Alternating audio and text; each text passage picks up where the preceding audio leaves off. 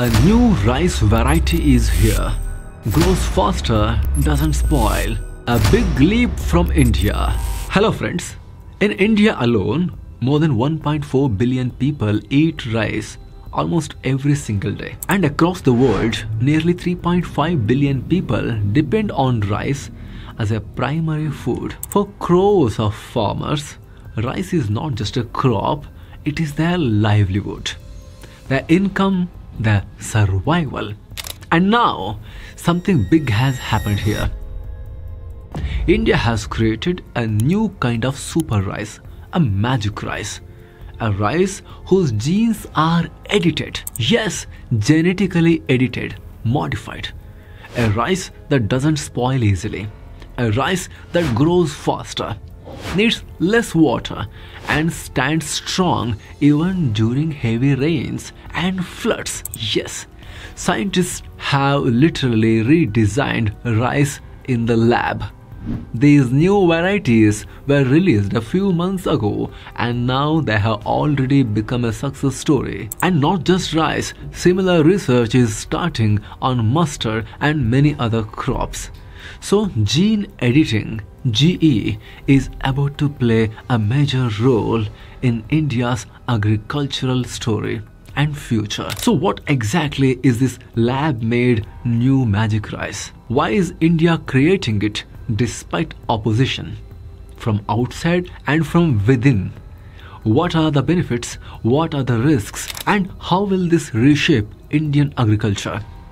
Let's explore everything in this today's video. Watch till the very end. Don't miss it.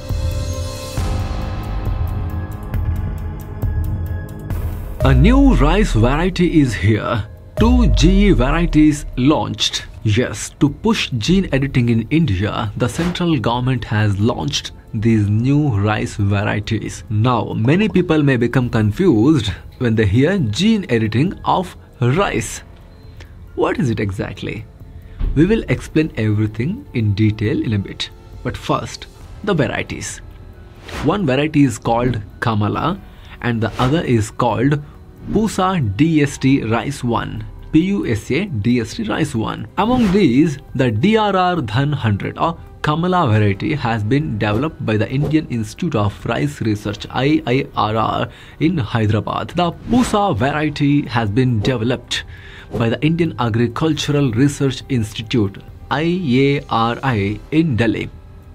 Both these varieties have been developed from very common rice types Samba Masuri or BPT 5204 and Cotton Dora Sanalu or MTU 1010. Friends, this Samba Masuri is nothing new. In Karnataka, we call it Sona Masuri.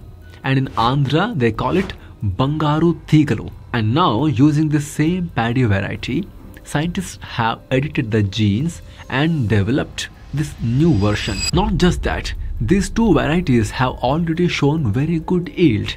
Across the country, more than 100 tests have been conducted on them.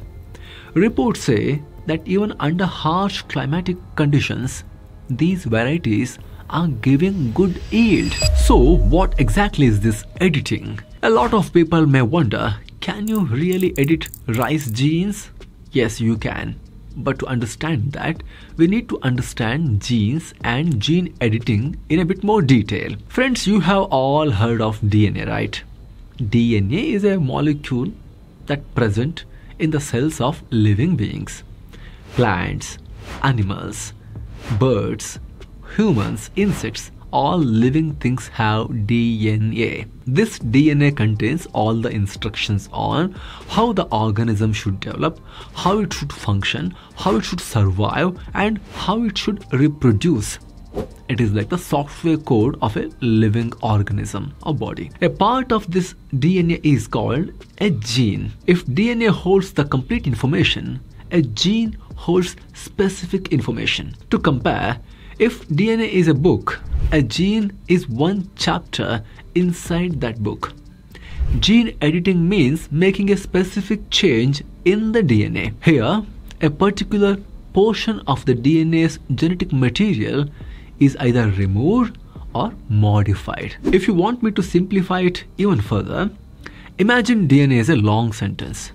You search for the spelling mistake in that sentence, erase it, and write the correct spelling again. That is exactly what we call gene editing. Just like you use a pen to edit your written sentence, for gene editing, scientists use special tools. These tools include CRISPR or CRISPR, TALEN or TALEN, and ZFN or ZFN. Now, when it comes specifically to rice, this editing happens in several stages. First step, scientists identify which gene in the rice variety controls which trait. For example, the WX gene decides the grain quality and starch quality. Similarly, DP1 G1A genes decide the yield. At this stage, they decide which gene needs to be changed. Next, second step, they prepare an RNA molecule that matches the target gene.